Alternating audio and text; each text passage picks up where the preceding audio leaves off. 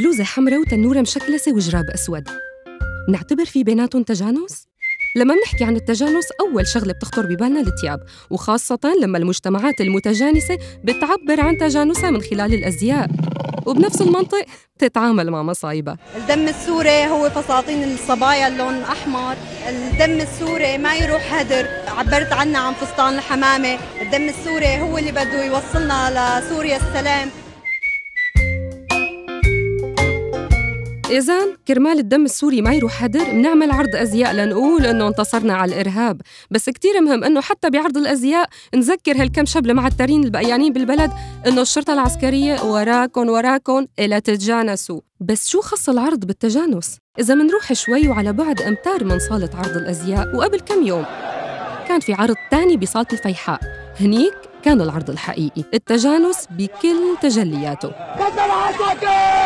ضد العساكر الشعب يريد اسقاط كل وكالة المصالحة. وهيك بيكون عرض صالة الفيحاء وعرض الأزياء شكلوا مع بعض لوحة بتشرح بكل وضوح شو يعني تجانس.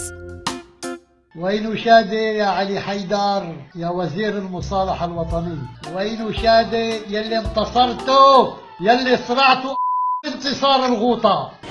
تصاميمي كانت آه، مثل ما طلبوا منا الدم السوري ما يروح هدر. الدم السوري هو اللي بده يوصلنا لسوريا السلام. إذا في عاهرة عين معرض رسم إذا نقاصة بتروحوا بتحضروا. جاوبوا وين شادي الدم السوري هو فساتين الصبايا اللون أحمر. زبالة! انتصرتوا علينا. انتصرتوا علينا على الشعب. انتصرتوا علينا على الفقراء. يعني سوريا المتجانسة الحقيقية كانت موجودة وحاضرة بقوة بعرض الأزياء يلي فرجانا إنه هذا الوش الجميل أو غيره. ممكن جدا يكون وراه بؤس كتير. ومن الصعب إنه يتخبى بشوية make up شوف المصممين شو فكرتهم بكل عرض هن بدهم يقدموه. أنا نمطه بشوف أنا بقى بيعمل كيف ال make up